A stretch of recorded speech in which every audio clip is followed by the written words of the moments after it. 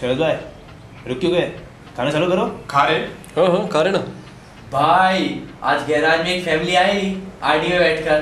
भाई तुम चकाचक भाई। दो ड्राइवर थे लोगों के साथ। वो गैराज में खड़े लिए ना अपनी सिविक वो लेने के वास्ते। ब्रेक प्रॉब्लम है उसका कुछ।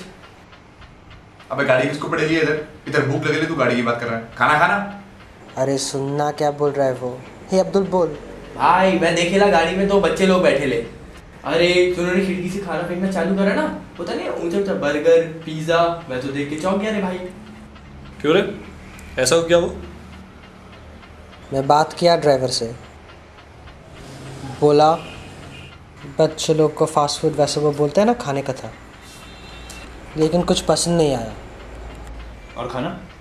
वो कुत्ते खा गए कुत्ते खा गए तू क्या कर रहा था उधर? लाया था ना इधर अपने को? अपन को भूख लगती क्या? क्या बोला तू? फिर तेरे को लगता है अपन किसी का फेंका खाना खाएगा भाई नवा पैक खाना था वो खाते थे ना उसको इधर कुत्ता समझ के रखा है तूने अपने को कुत्तों से कौन सा चीज़ नहीं की अपन लोग की ये इधर देख पहले सोच कि तू क्या बोल रहा है समझा